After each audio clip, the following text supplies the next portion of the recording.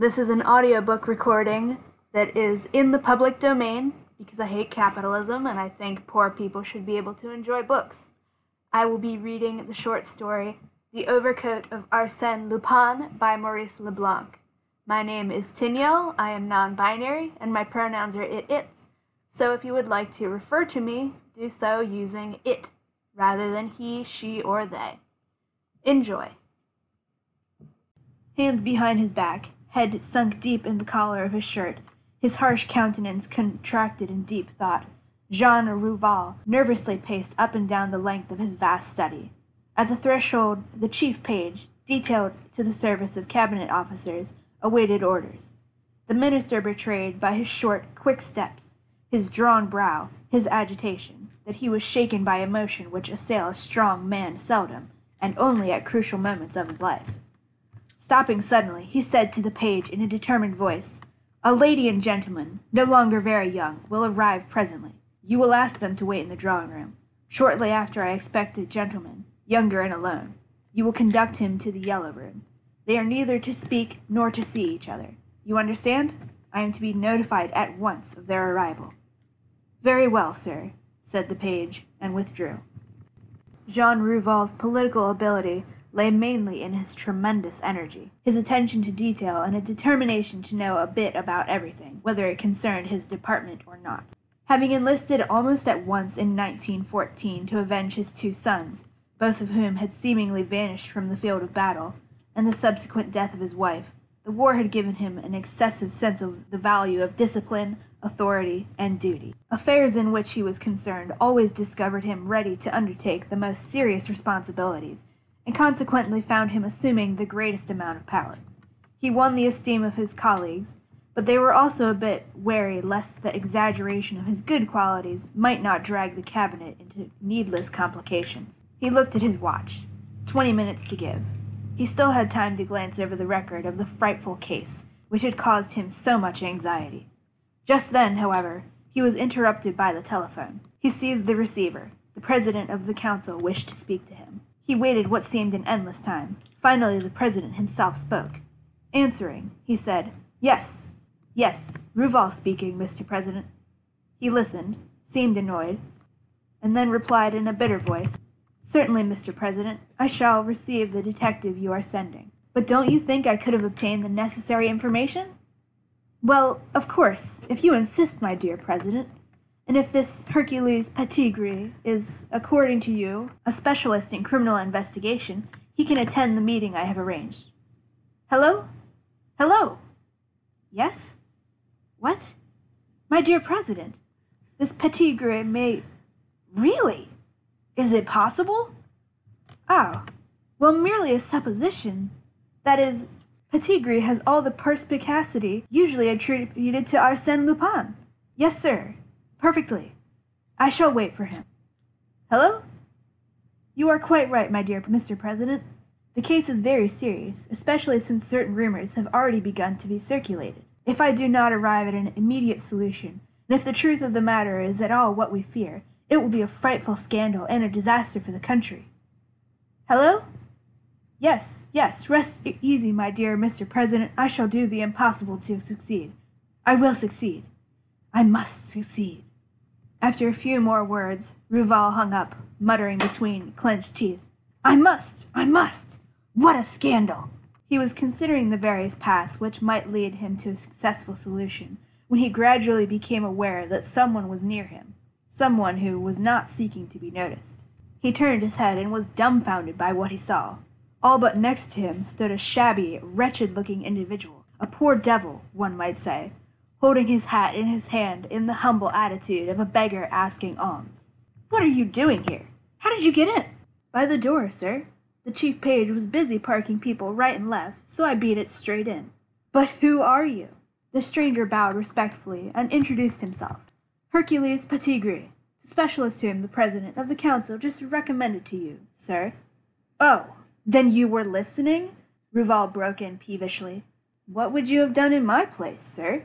He was a sickly looking, pitiful object, sad faced, his hair, mustache, his pinched nose, his thin cheeks, the corners of his mouth, all drooped pathetically. His arms hung wearily in a long greenish overcoat which seemed about to slip from his shoulders.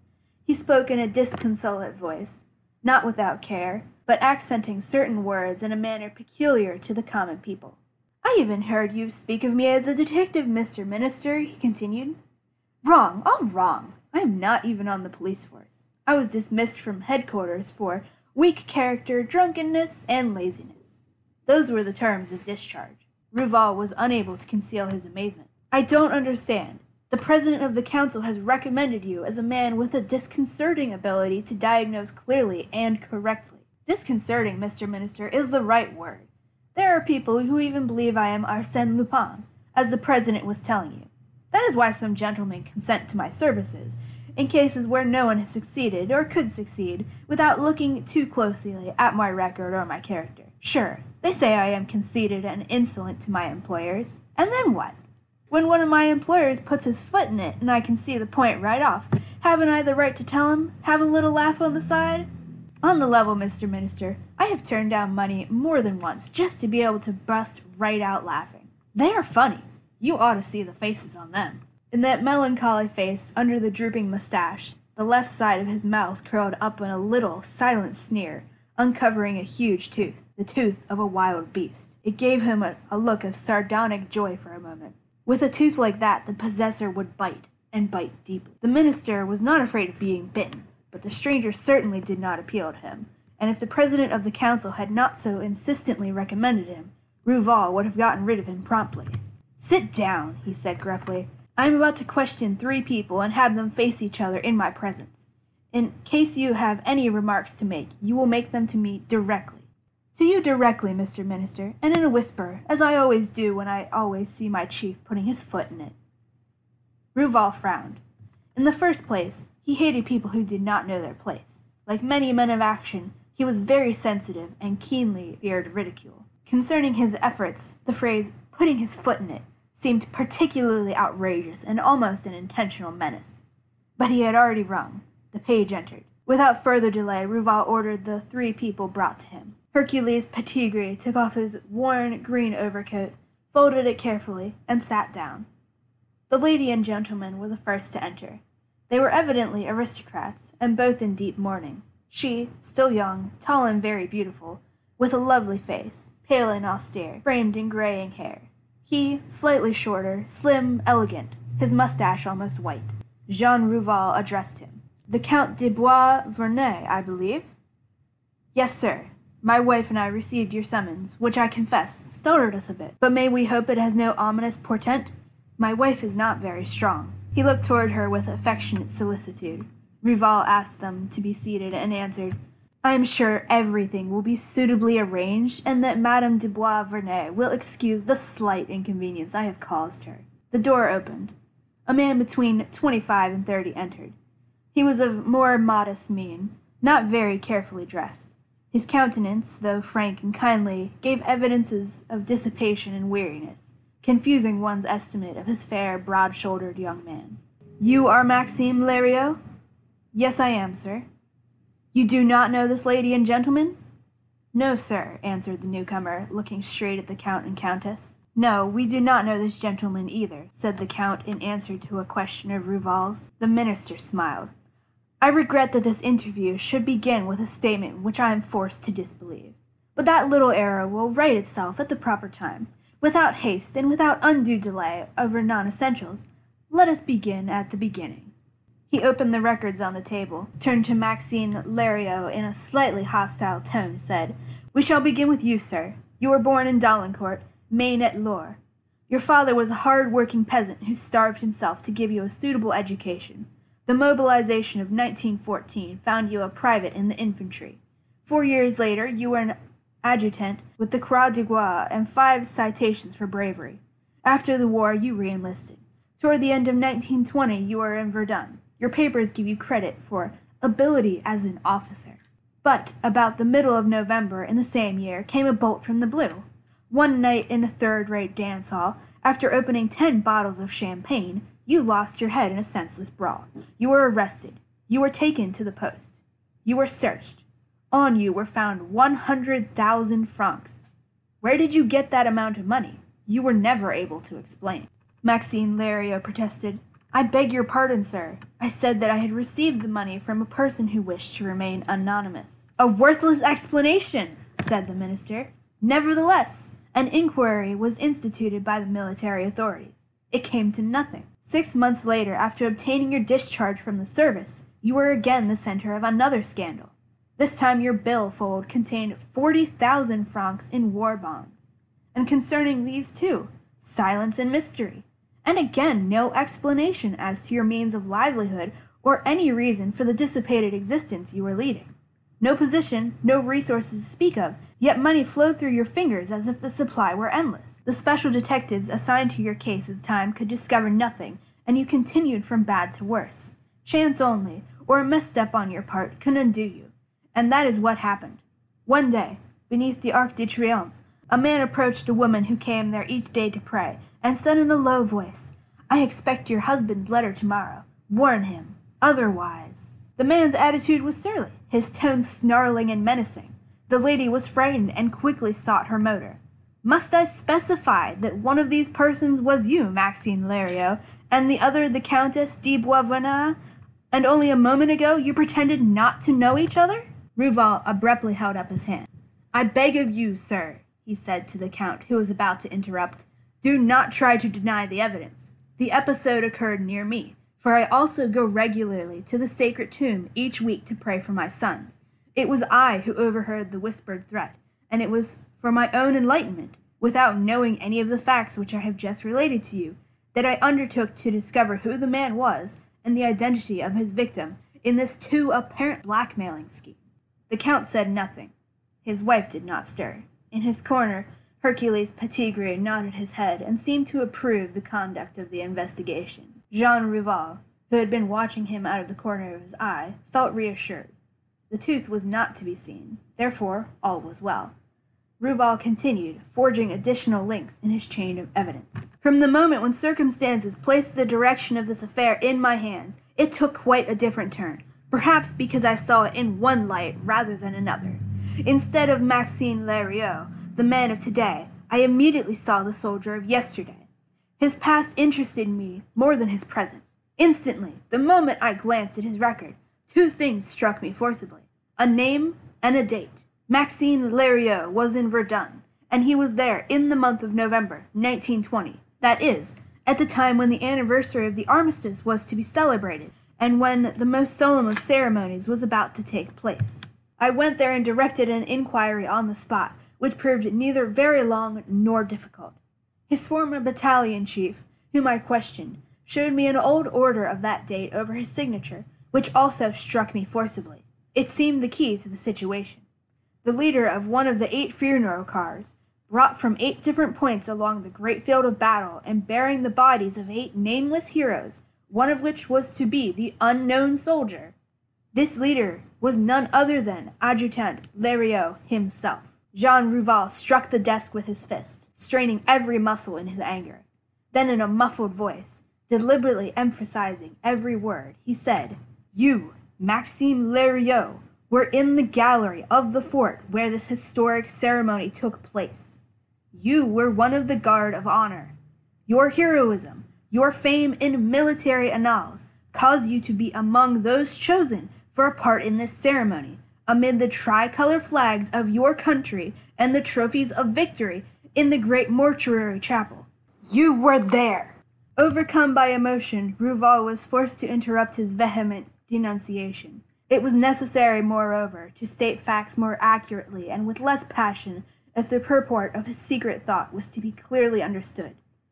Hercules Pettigrew continued to nod his head approvingly, which only served to fan the flame of the minister's ardor. The former adjutant did not utter a sound. Like troops piercing an enemy line came Rouval's accusations, hesitant, then stronger and stronger, and with the greater force they had overwhelmed the foe before he could recover himself. The Count listened and looked anxiously at his wife. Until this point in my investigation, I have only had vague forebodings, no definite suspicions, no clues to lead me. I dared not understand. It was in this spirit, terrified, aghast, that I sought proofs of what I feared to know. These proofs were irrefutable.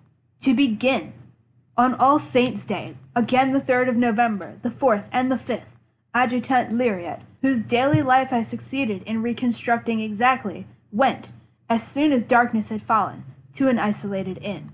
There he met a lady and gentleman with whom he remained in conference until dinner. This lady and gentleman came to the inn in an automobile from a nearby city where they stayed at a certain hotel, the name of which I secured. I then went to this hotel and asked to see the register. From the 1st to the 11th of November, 1920, two guests had been there the Count and Countess de Boisvernet. A silence. The pallor of the Countess deepened.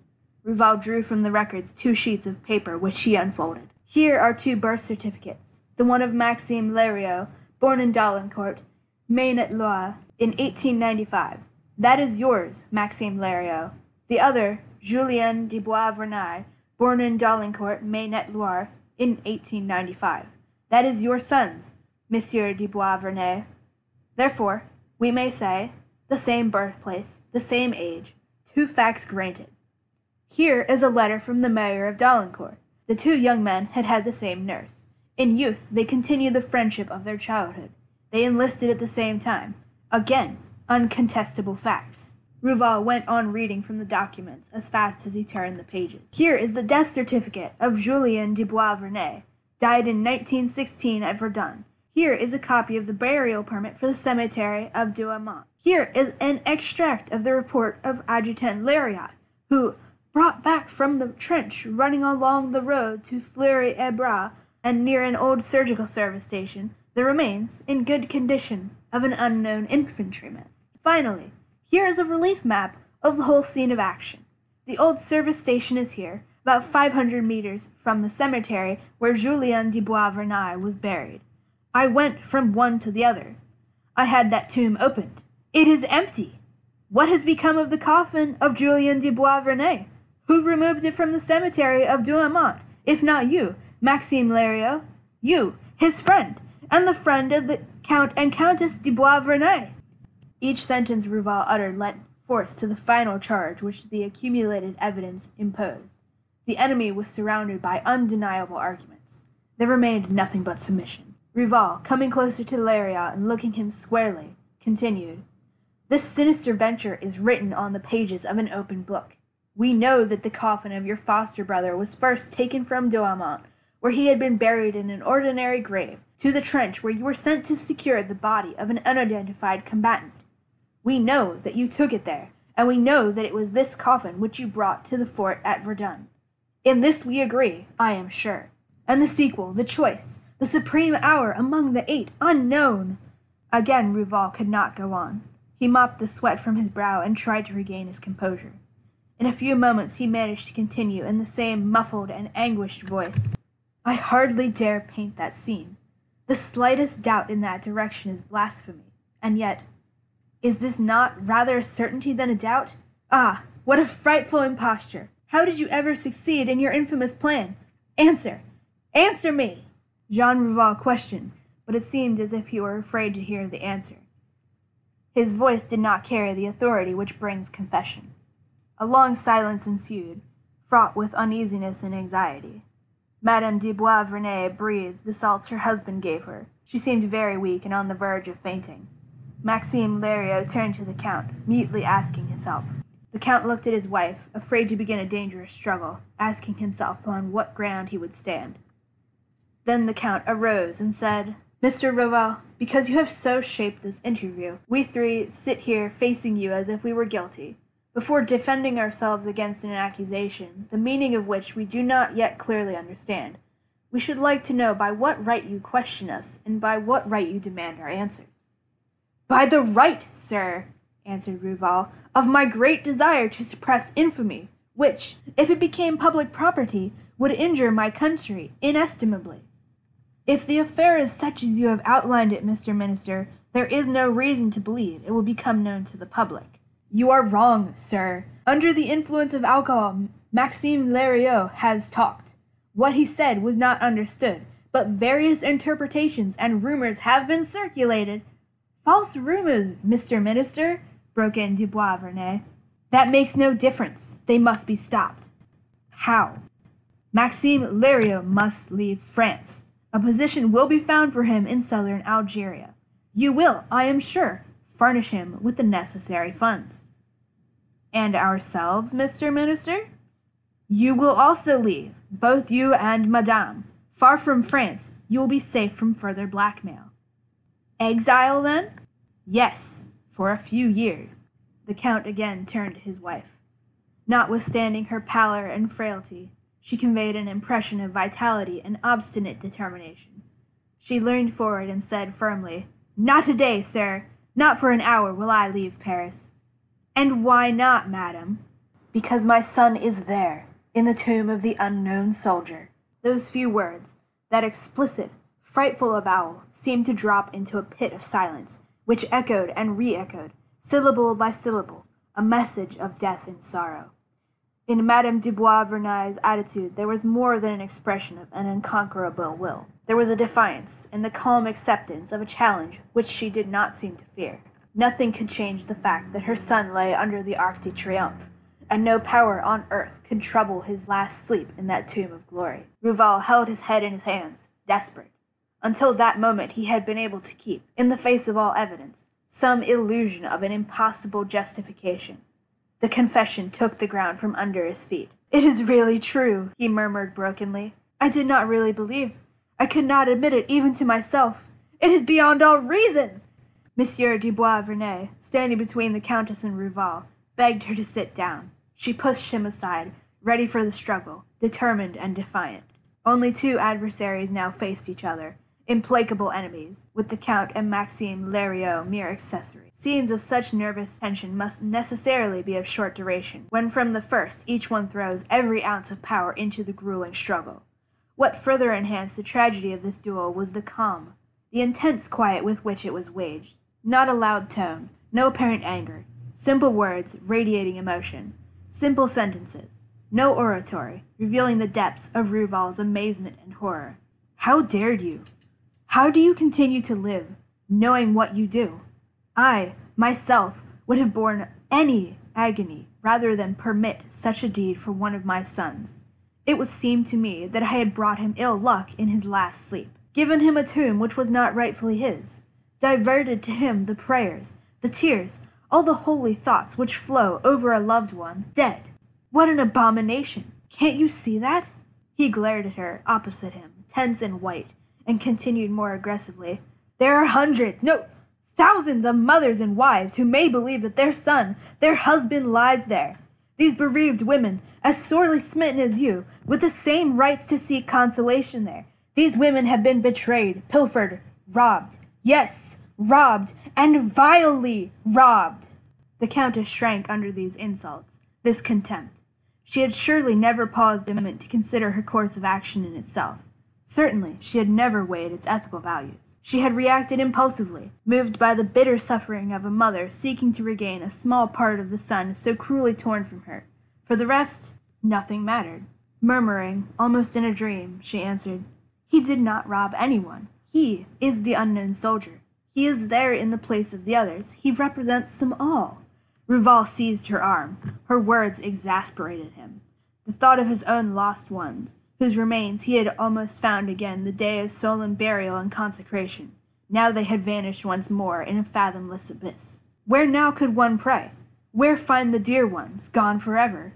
But the Countess smiled, her face transformed by the happiness which fairly irradiated her whole being. It was circumstance which caused him to be chosen among all the others, she said. What I did alone would not have sufficed if there had not been a greater will than mine in his favor. Chance might have assigned the honor to some soldier who did not deserve it, either in his life or in his death. My son was worthy of the reward. All were worthy, protested Rouval vehemently. Even if during his life he had been the most obscure, the most odious of men, the soldier chosen by destiny became, in that instant, the equal of the greatest. She shook her head. Her eyes gleamed with a contemptuous pride. Before her rose the ghosts of a hundred proud ancestors, and the heroic dead of her country acclaiming her son the chosen one, born for glory. This has happened for the best, sir, she said. Believe in me and rest assured that I have stolen no tears, no prayers. Every mother who kneels there and weeps prays for her dead son. Does it really matter if it is my son, if she does not know it? But I know it, said Rouval, and they may find it out. And then what? Can you imagine what will happen? The anger, the hate, the wild scenes of unbridled fury? No crime in the world would arouse such indignation. Can't I make you understand? Little by little he was losing control of himself. He despised this woman. Her exile seemed more and more the only solution which could avert a calamity and this, at the same time appease his own pain. Without any attempt to spare her, he said roughly, You must go, madame. Your presence at that grave is an outrage to every other woman. Go, and go now. No, I will not, she said. You will. You must. With you out of the country, their wrongs will be partially righted. The soldier there will once more become the unknown soldier. No, no, no. What you ask is impossible. I could not live away from him. If I had to continue to live, it is only because he is there, because I can see him each day, speak to him, and hear him speak to me. Oh, you cannot understand how I feel when I stand there in the crowd. They come from every corner of France, bringing their offerings of flowers, of tears, of prayers. There are moments when I am so overwhelmed by a wave of happiness and pride that I almost forget he is dead.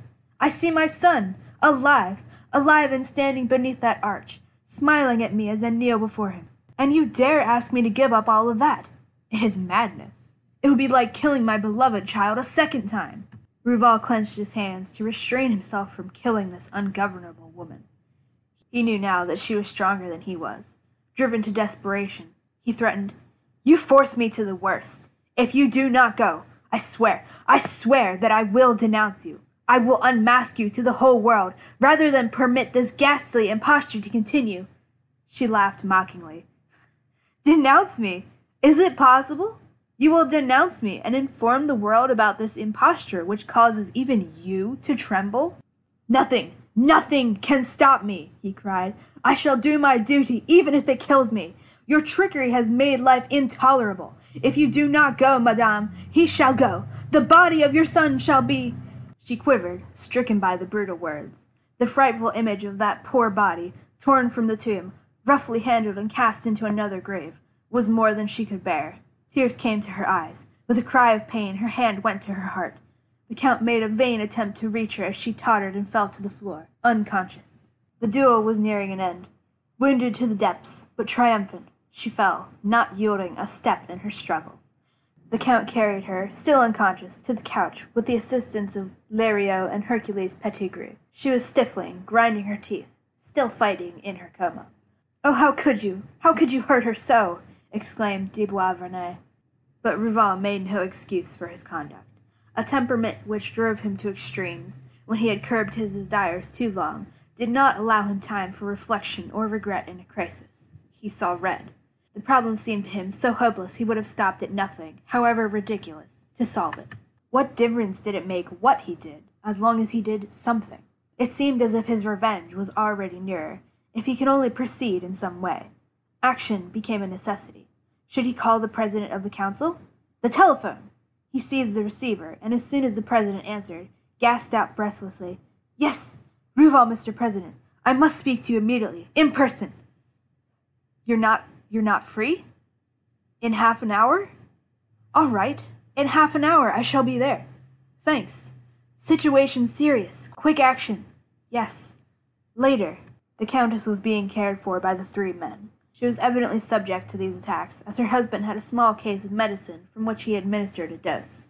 He took off his overcoat, knelt beside her, and tended to her in an agony of fear which all but suffocated him, speaking to her constantly, as if she could hear him. It is your heart, darling, isn't it?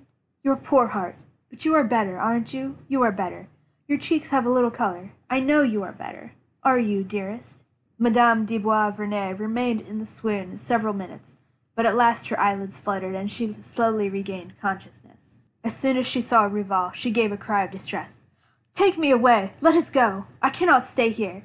But, dearest, be reasonable. You must rest a few minutes. No, no, not a moment. We must go. I cannot stay.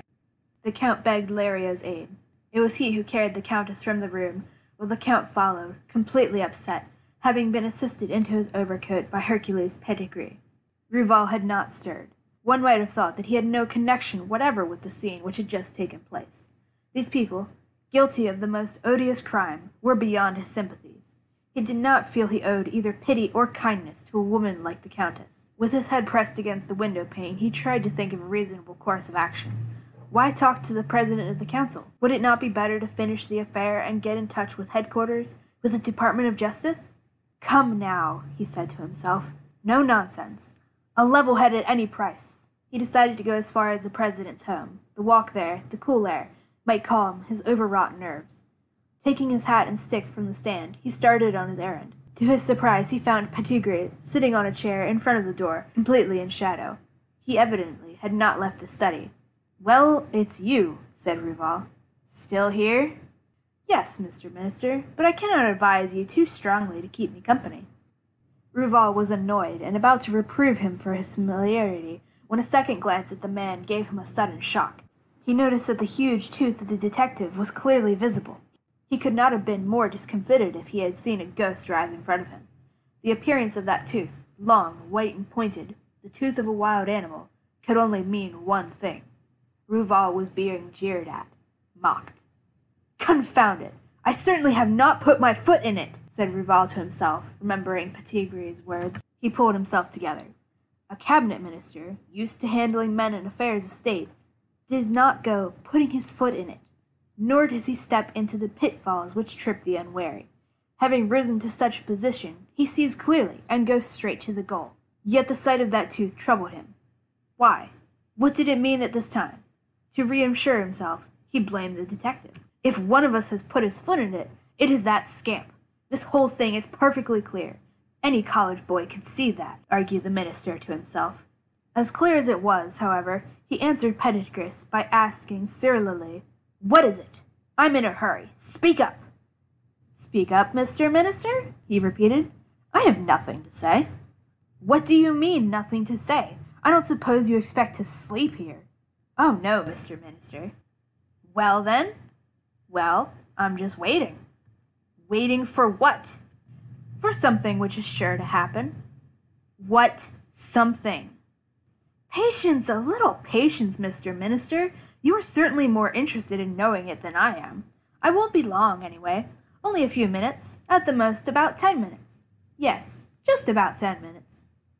Nothing of the sort, cried Rouval. The confessions these people have made are perfectly explicit. What confessions, Mr. Minister?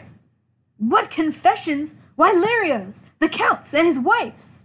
The Countess, perhaps, but the Count confessed nothing. Neither did Leriot, said the detective. What are you trying to put over now? I'm not trying to put over anything, Mr. Minister. It's a fact. You might say the truth.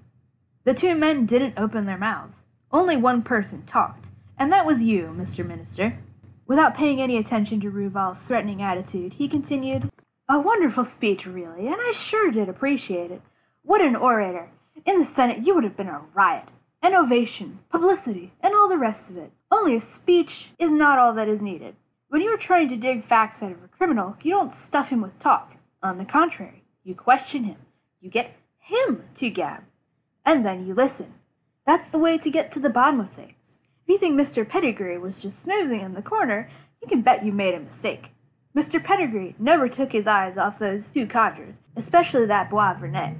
And that's why I'm telling you, Mr. Minister, that in eight minutes someone is coming and something will happen. In seven minutes and a half. Rouval was floored. He did not give the least credence to Pettigrew's positions, not to the special announcement that something was going to happen. But the man's tenacity held him, and that canine tooth, which gave him an expression at once arrogant, fierce, wicked, enigmatic. The minister capitulated and returned to the other end of the room, where he gave vent to his rage by tapping furiously on the desk with a pen handle, by nervously moving the desk appointments about, by looking at the clock and watching Pettigrew out of the corner of his eye. The detective sat quite still, only moving once. He tore a sheet of paper from a pad, came to the desk, borrowed Rouval's own pen with an air of authority, and rapidly wrote a few lines. He folded the paper in half, put it in an envelope, and slipped it under a magazine, which happened to be near the desk edge. Then he sat down. What did it all mean? Why did he continue to sneer with that mysterious, abominable tooth? Three minutes. Two minutes. Rouval, in a sudden burst of anger, jumped up and again started striding up and down the room, knocking over a chair, jostling against a table, and upsetting all the bric-a-brac. This whole case was stupid. That blockhead Pettigrew and his devilish tooth had hit a nerve. Listen, Mr. Minister, mumbled the detective, holding up his hand. Listen. Listen to what? Footsteps. Listen. Someone is knocking. Someone was knocking. Rouval recognized the discreet tap of the page. He's not alone, asserted Pettigrew. What do you know about it? He can't be alone, because what I told you would happen is going to happen, and it can't happen unless someone else comes in. Well, confound it! What is it that is going to happen? The truth, Mr. Minister. There are times when the hour has struck that nothing can prevent the truth from being known. It comes in at the window if the door is closed. But the door is so near, Mr. Minister, you don't want to stop me from opening it. Will you, Mr. Minister? Rouval, beside himself with rage, opened the door. The page looked in. Mr. Minister, the gentleman who left here a little while ago with the lady is asking for his overcoat. His overcoat? Yes, sir. The gentleman forgot it, or rather, he got the wrong one. Hercules Pettigrew explained. He is right, Mr. Minister. I see a mistake has been made. The gentleman took my overcoat and left me his. Perhaps the gentleman can come in and. Rouval acquiesced. The page went out, and almost immediately Monsieur de Boisvernet entered. After the overcoats had been exchanged, the Count, having bowed to Rouval, who carefully looked the other way, started to leave the room. On the threshold, grasping the handle of the door, he hesitated, murmured a few words scarcely audible, stopped, and re entered the room. The ten minutes are up, Mr. Minister, whispered Pettigrew. Consequently, something is going to happen. Rouval waited. Events seemed to occur as the detective had predicted. What do you wish, sir? inquired the minister. After a few minutes' hesitation, Monsieur Dubois Boisvernet answered, Mr. Minister, are you really going to denounce us? The consequences would be so serious that I am taking the liberty of calling them to your attention. Think of the scandal. Public clamor. Rouval lost his temper. Will you tell me if I can do anything else? Yes, you can. You should. Everything can be arranged between us two in a perfectly legitimate way. There is no reason why we should not come to some agreement. I did propose an agreement, but Madame de Boisvernet would not hear of it. She would not, but I will. Rouval seemed surprised. Pettigrew had already made the distinction between husband and wife a short time before. Explain yourself. The Count seemed embarrassed, irresolute, hesitating between sentences. He went on, Mr. Minister, I love my wife beyond words, and sometimes I am weak enough to do things for her which I know are wrong, dangerous. That is what has happened. The, the death of our son so completely demoralized her that twice, in spite of her deep religious sentiment, she tried to commit suicide. It became an obsession. In spite of my watchfulness, my every care, she would have carried out her intentions. But at an opportune moment, Maxime Leriot came to see me. While talking to him about the war, our son, the idea came to me to combine the unknown. He shrank before the decisive words. Rouval, more and more irritated, broke in. We are losing time, sir, since I know the result of your machinations, and that is all that matters. It is precisely because the result alone matters that I am here. Because you discovered certain preparations, you concluded, too hastily perhaps, because of your apprehension, that a sacrilege had been committed. That is not so. Rouval did not understand. It is not so? Then why didn't you protest? I could not. Why? My wife would have had to hear me. But Madame de Boisvernet herself confessed. Yes, but I did not.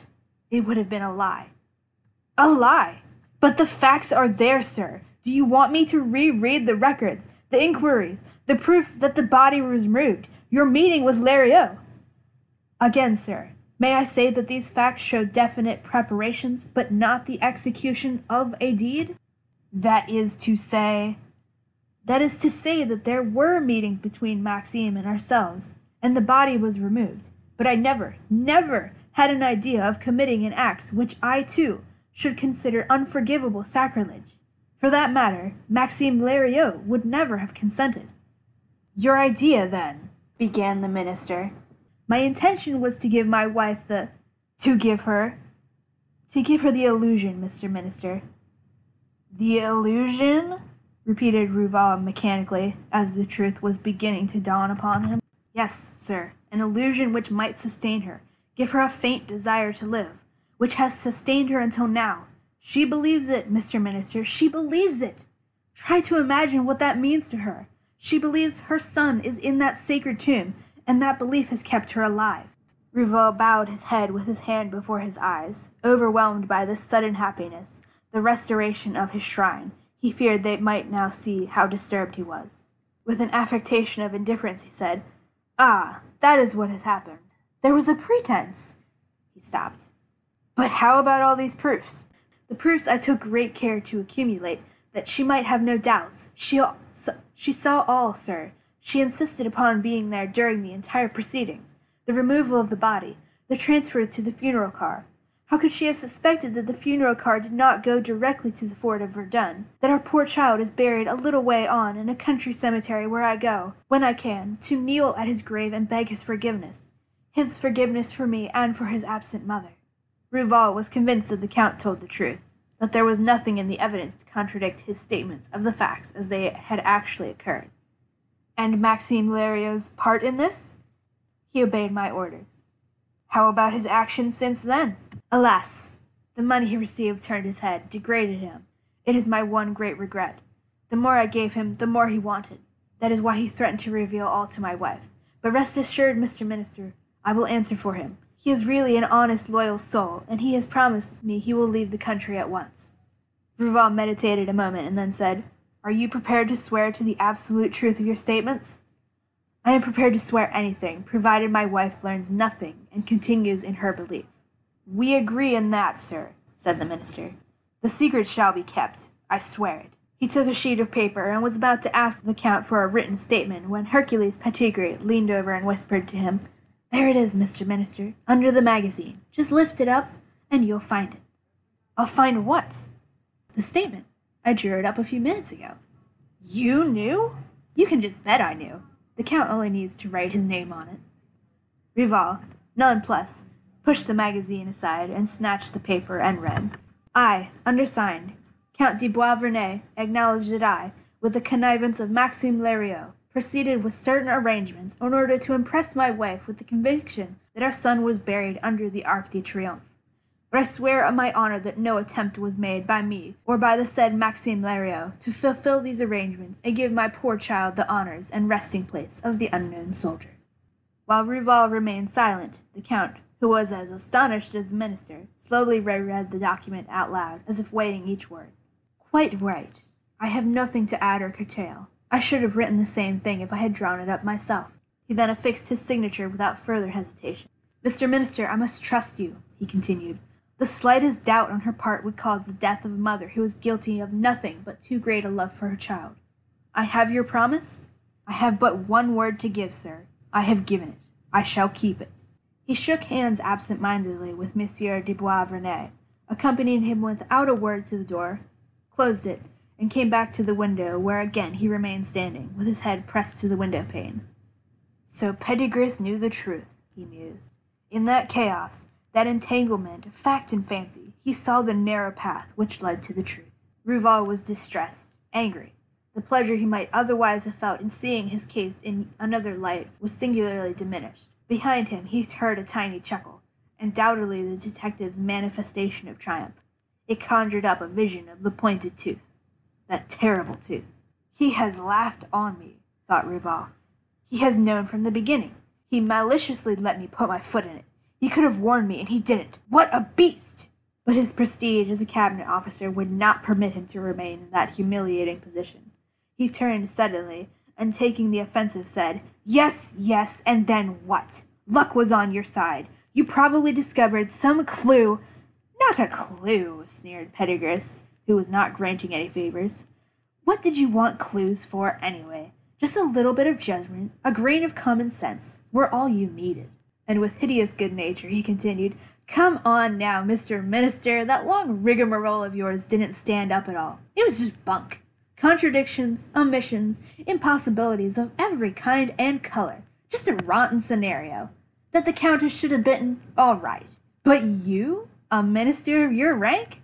Honestly, do you think people juggle with corpses in real life? Have a heart. They make every effort to have the unknown soldier be an unknown soldier. Arrangements for the public funeral cars, functionaries, generals, brigadiers, ministers, in fact, the devil and his whole crew.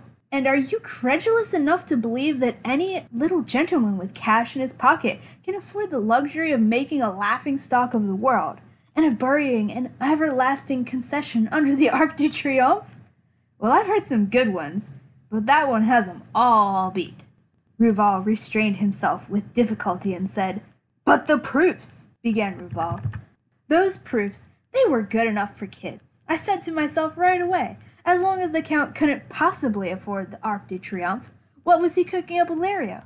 Just as soon as I saw the way he looked at his wife, I got it. My boy, you're a good thing. Just to help the wife along, you're gonna play a little game and make her believe you did the real thing. But you're a bit weak, too. If my chief gets good and mad and threatens you, you're gonna give in. There's the whole trick, Mr. Minister. Rage and threats on your part, and little Mr. Boisvernet gives in. All right, well and good so far, said Rouval. But you could not know he was coming back, and that something, as you put it, was going to happen. Say, listen, what about the overcoat? The overcoat? Great Scott! How could he have come back without it? He had to have some excuse to leave his wife and to confess before the Department of Justice put its nose in it. Well, when he was leaving, I helped him on with my overcoat instead of his. He was all up in the air. He couldn't see anything but red. Then outside in the car, when he saw my cast off, he jumped at the chance to run back here. Do you get it? What do you think of that piece of work? I put over some better ones in my life, a couple of harder ones, but never a shrewder one.